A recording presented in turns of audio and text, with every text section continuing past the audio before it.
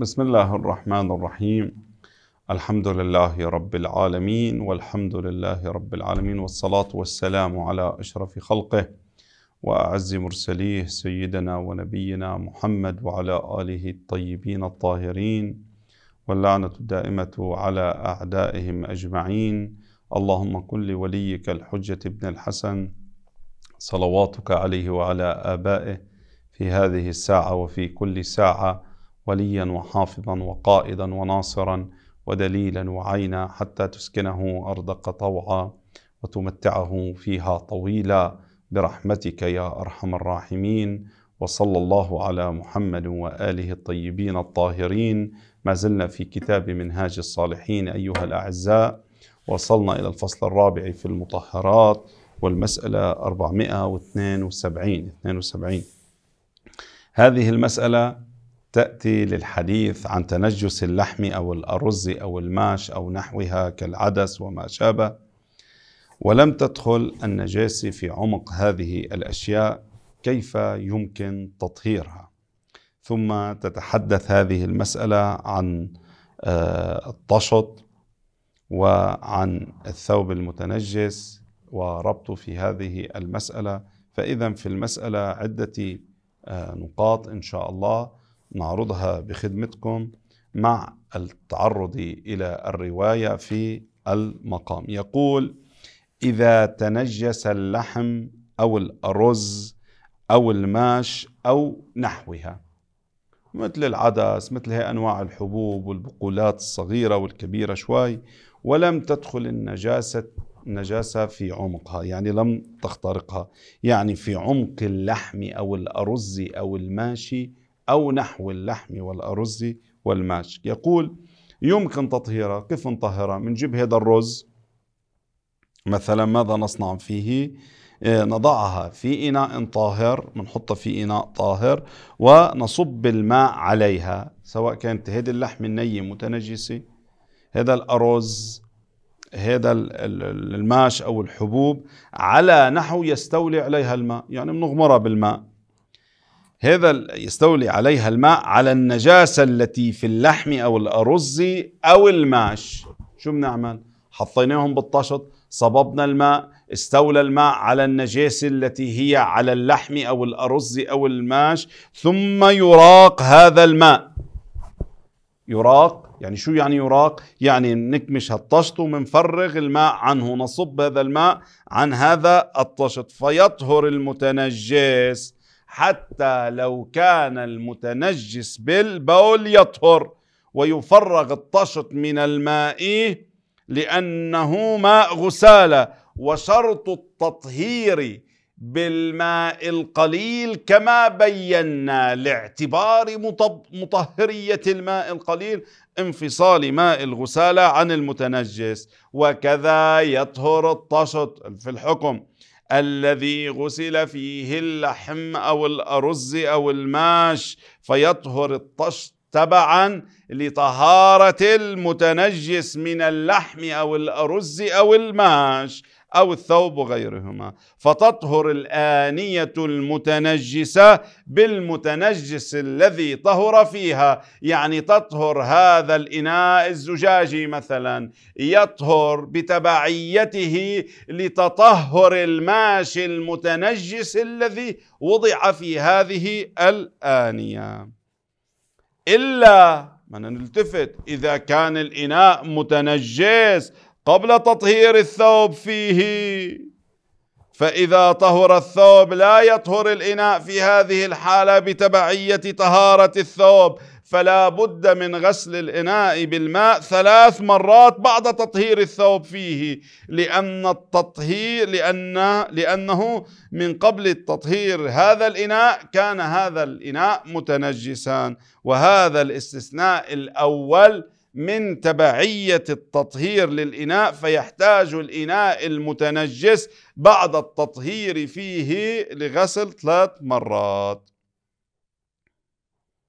هذا الاستثناء الأول. خلونا نرجع نقرأ نحن وياكم المسألة ونفصلها. نقول إذا تنجس اللحم أو الأرز أو الماش أو نحوه يعني كالعدس وما شابه ولم تدخل النجاسة إلى العمق بحيث إذا الرز لأن ودخلت صارت تكبس عليه يطلع منه ماء يمكن تطهيره تطهير هذه الأمور يعني اللحم والأرز والماش بوضعها بوضع اللحم والأرز والماش في إناء طاهر وهذا المتعارف وصب الماء عليها. هذه الصب كيف كيفيته؟ على نحوين يستولي الماء على النجاسة ثم يراق الماء ويفرغ الطشت مرة واحدة فيطهر هذا المتنجس. هذا الأرز المتنجس بهذه النجاسة طهر. وكذا الطشت تبعا. وكذا إذا أريد تطهير الثوب فإنه يكفي أن يوضع في الطشت ويصب الماء على الثوب ثم يعصر ويفرغ الماء مرة واحدة فيطهر ذلك الثوب والطشط أيضا. هذا عنوان التبعية صادق للطشط في كلا الصورتين سواء في الأرز المتنجس أو في الثوب المتنجس. وإذا كان تطهير المتنجس يتوقف على التعدد كالثوب المتنجس بالبول كفى الغسل مرة واحدة أخرى مرة أخرى على النحو المذكور نغسله مرة أخرى. ولا فرق فيما ذكر بين الطشت وغيره من الأواني والأحوط الأولى تثليث الغسل في الجميع. هذا على فتوى الاحتياط الاستحبابي. طيب طالما قلنا نحن إذا كان الإناء متنجس بنجاسة قبل ما أن نضع فيه الأرز فإلنا بيحتاج إلى ماذا؟ فلا يطهر بتلك التبعية بيحتاج لغسل ثلاث مرات الاستثناء الثاني من تبعية التطهير في بحث المياه بالفصل الثاني حكم الماء المطلق مسألة 52 التي تقدمت فقال السيد السيستاني حفظه الله وإذا كان الماء الموضوع في طشط ونحوه من الأواني متنجسا فجرى عليه ماء الأنبوء وهو ماء الإسالة يعني الانبوء بالحنفيات أي الماء الكثير الذي له مادة تمد السيام النفس الماء الأساسي للمدينة كما في إيران. سد ويعطي المدينة دفعة واحدة يا كما في بلادنا يوضع خزان كبير على السطح وتتصل به هذه اللولة والأساطل يقول وإذا كان الماء الموضوع في طشط ونحوه من الأواني متنجس فجرى عليه ماء الأنبوب. في المسألة 52 هذه وهو ماء الإسالة أي الماء الكثير الذي له مادة تمده وامتزج به طهر واعتصم وكان حكمه حكم ماء القرب في تطهير المتنجس به. هذا إذا لم ينقطع الماء عنه وإلا إذا انقطع الماء عنه تنجس على الأحوط لزوما لأن الماء الموجود في الطشت ماء قليل. إلا إذا كان الإناء متنجس ومسبوق بالغسل مرتين فيحتاج أن يغسل مرة ثالثة للتطهير. فلو وضع فيه المتنجس يطهر المتنجس ويطهر الإناء في هذه الغسلة لأنها سوف تكون الغسلة الثالثة للإناء. فيطهر الإناء حينئذ هذه آه، المسألة. طبعا هون ما في خصوصية للطشط وغيره من الأواني.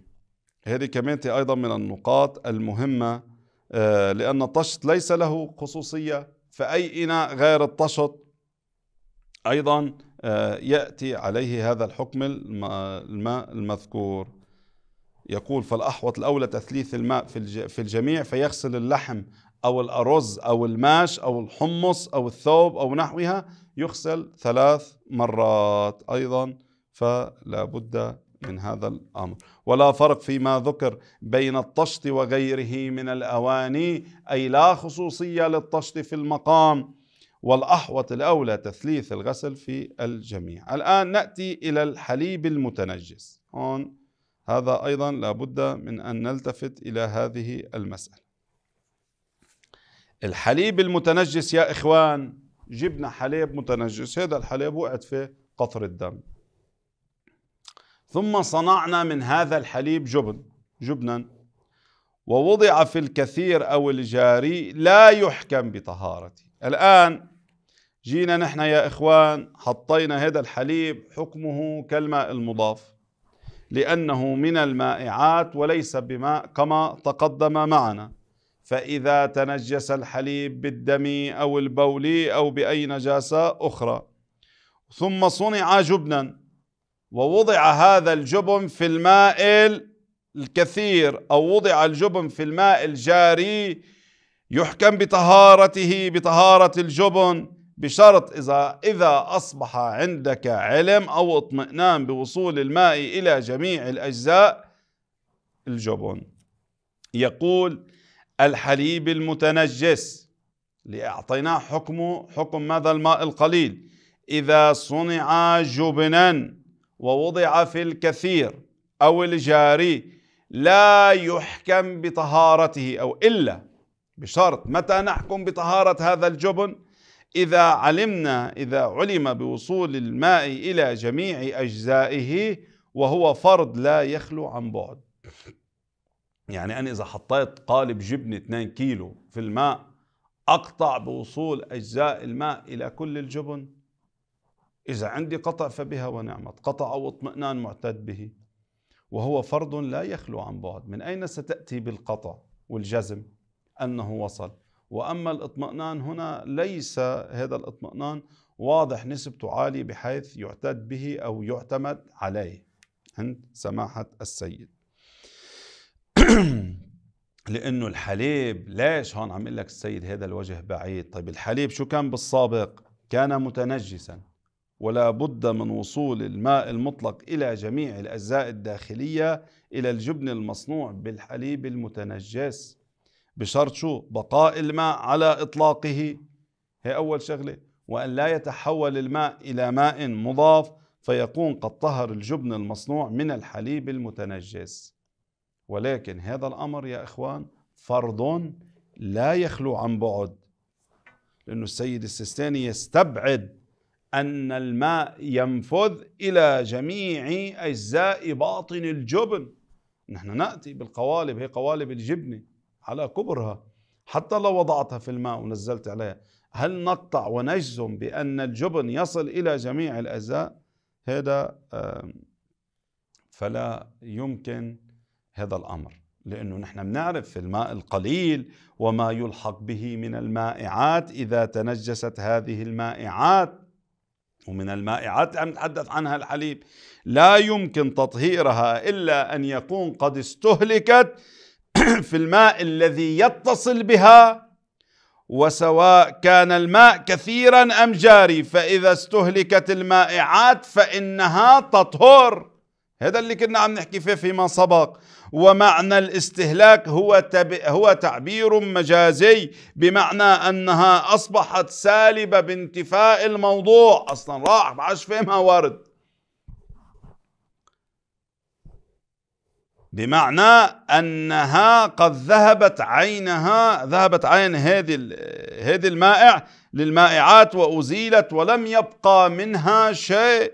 فلا معنى أن تقول أنها طهرت فالاستهلاك تعبير إلا أن المقصود من أنه قد طهر الجبن بعد انحلال أجزائه في الماء وتطهير أنه يمكن جمع أجزاء الحليب. فإذا أمكن الجمع لتلك الأجزاء فلا شك أن هذه الأجزاء من الحليب تكون قد طهرت. يعني بيقولوا بيقولوا صحيح نحن لما بنقول استحالت إسالت ولكن بالدقة لو رجعنا أخذنا هذا الطشت الكبير اللي طهرنا فيه هذه المائع إلى المختبر وجزأها يستطيع مثلا أن يجمع تلك الأجزاء ويرجع ويرجع هذا الماء ولأنه لا يمكن تطهير الحليب إلا أن يحول إلى جبن وطريقة تطهير الحليب بأن يحول الحليب إلى جبن ويوضع الجبن في الماء الكثير.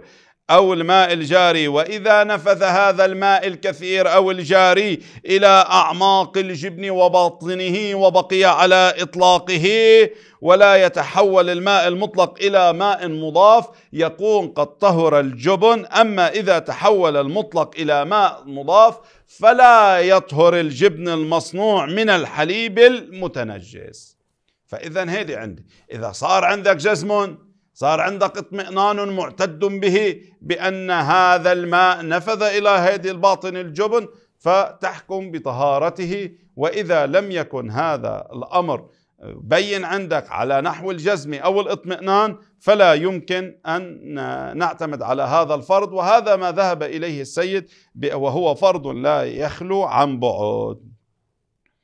مسألة 474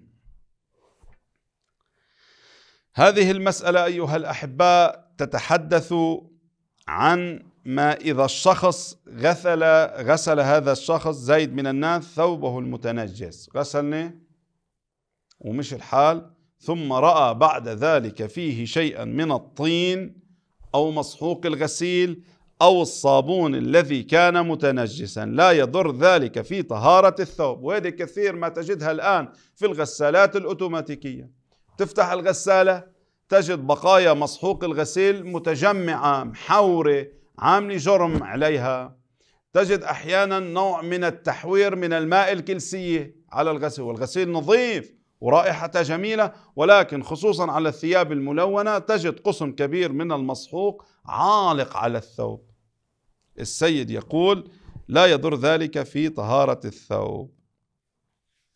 طبعا بشروط. لا هذا على إطلاقها الآن سيبين بعض القيود في المسألة وبعض وبعض الأمور. طيب. طهارة الثوب قلنا نحكم بالطهارة. إلا بلش الاستثناءات. إذا كان مسحوق الغسيل أو الصابون حاجبا عن وصول الماء إلى موضع التصاقه يعني هذا لمسحوق الغسيل أو الصابون لعالثوب. شكل حاجز عمل طبقة جرم سميك. قطعنا بعدم وصول الماء إلى الثوب فيحكم ببقاء النجاسة ذلك الموضع من الثوب. ليس كل الثوب هذا الموضع. إذا شكلنا وبالعادة بالغالب لا يشكل جرم بس عم نقول إذا شكل جرم فيغسل الموضع من الثوب. افترض هذا المكان اللي عليه هذا المكان فقط. أما بقية أجزاء الثوب الذي وصل إليه الماء فالحكم فيها بطهارته وكذا يحكم بنجاسته إذا شك في حاجبيته. إذا كان مرة قطعنا بالحاجبية مرة نشك بحاجبية الصابون وسائل الغسيل للماء. فإذا شكينا في حاجبية الصابون أو مسحوق الغسيل عن وصول الماء الذي التصق به يحكم بنجاسته. فإذا شككنا أن الصابون الذي هو على الثوب أحبائي هذا قد حجب وصول الماء إلى المنطقة التي التصق, التي التصق بها فيحكم بنجاسته. لماذا؟ لاستصحاب النجاسة. لأنك الآن ماذا هو الحكم؟ الآن أنت تشك في في وصول الماء إلى هذه المنطقة. وسابقا كانت هذه المنطقة متنجسة. والآن تشك هل وصل الماء إلى هذه المنطقة أو أن الصابون حجب وصول الماء. وكانت هذه المنطقة متنجسة فيما قلنا فنستصحب البقاء على النجاسة. نعم ظاهر الطين أو الصابون الذي رآه على الثوب محكوم بالطهارة على كل حال.